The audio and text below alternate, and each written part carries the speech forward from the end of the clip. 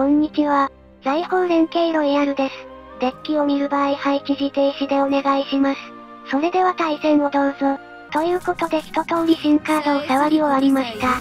最初はフィニッシャーがほとんど追加されていなかったので、動画にできるか心配だったんですけど、思った以上に使いやすいカードが多かったので助かりましたね。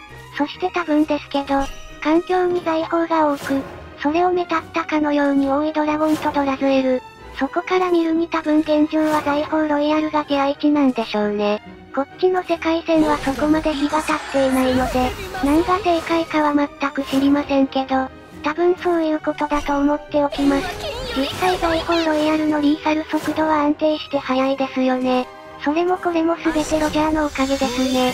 謎2点が偉大すぎます。実質1回無料のキャンペーンも美味しいんですけど、2点キャッシュバックがお得すぎますね。相手のリーサルラインはスポン17点なので、ロジャーでチクチクしているだけでリーサルラインです。でも問題が一つあって、ロジャーを引けないとちょっと弱めってところですね。でもバルバロスは指揮官だし、他にも有能な指揮官が多いし困っちゃうなそんな時に思いついたのがこのデッキです。というかまずヒーローロイヤルから着想を得たって感じですかね。勝手でバリアントをサーチしつつ、マーズをトニーで引く形に見せています。でもこの財宝ロイヤルってバルバロス1枚だと足りないなってことが多くて、じゃあほぼ同じ打点になる双剣使いを採用しよう。そういう感じになりました。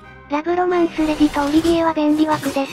1枚だと色々と言われそうで怖いんですけど、これが一番しっくりきたので目をつぶって投稿しています。基本的には財宝がメインプランですしね。引けなくても気にしない方向性です。たら結構強くってですね。ラブロマンスレディで出てくるジュリエットが2点、戦率2枚で6点、双剣使いで10点、ロジャーの謎2点で合計20点になります。ラブロマンスレディじゃなくて首飾りでもいいんですけどね。連携を稼げる可能性があるのでラブロマンスレディもいいかなって思ってます。そして空いた枠にペンギンクイが入ってきました。使うことあるのかな？って思ってたんですけど、財宝を増やすためにそこそこ便利でした。まあ色々とギミック重視で尖らせたって感じですね。最近のマイブームでもあります。趣味を書く枠があったら、間違いなくデッキのサーチを尖らせること。そう書きますね。まるで話が広がらなさそうな趣味ですけど、相手に興味を持たせるきっかけにはなるかもしれません。リアルで書く気はないですけどね。そんなこんなで対戦も終盤戦です。ロジャーは起動できている状態で、あとはバルバロスを引くだけですね。もう山札的に確定サーチになっているはずなので、あとはお茶を濁して効果力を叩き込めば終わりです。でもこの7ターン目までは生き残れるという感じ。決勝を相手にした場合、どう立ち回るんでしょうね。計算したことないんですけど、もしかしてガチ勢にもなると6リーサルが当たり前だったりするんでしょうか？私にはわかりません。色々と組み合わせて遊ぶだけです。本当はバルバロスもなしでロジャー単体で作ろうかと思ったくらいですからね。多分それでも勝てる気がしてるんですけど、さすがに財宝の意味がないと思ったのでやめました。融合しないと戦率も出しにくいですしね。そんなこんなで対戦も終盤戦です。体力14はリーサル圏内なので、ほぼほぼリーサル圏内みたいなものです。普通の復讐バンプでしたらね、ちょっとだけ回復されました。でもリーサルが舞い降りたのでリーサルです。神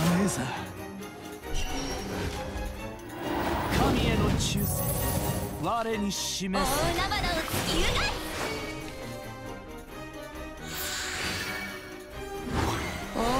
時だ僕らの時間だ